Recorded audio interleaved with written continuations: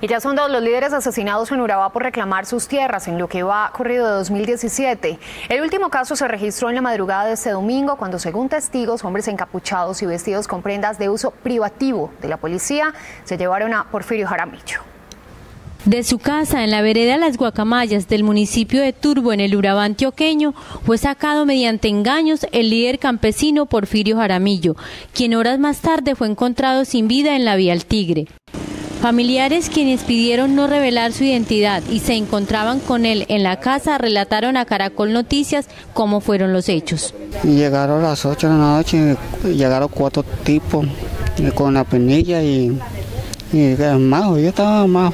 Representantes de asociaciones reclamantes de tierras manifestaron que las amenazas provienen de empresarios y grupos armados ilegales que hay en la zona. Los mismos administradores, los mismos dueños de la finca, los mismas mismas baclín que hay en la vereda se encargan de hacer estos, estas amenazas.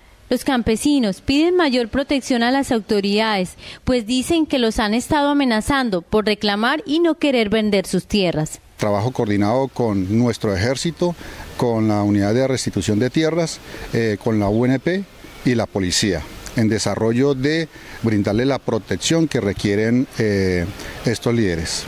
Según sus familiares y otros líderes, Porfirio Jaramillo fue asesinado con arma blanca y su cadáver se encuentra aún en la morgue del municipio de Chigorodó a la espera de ser entregado a su familia.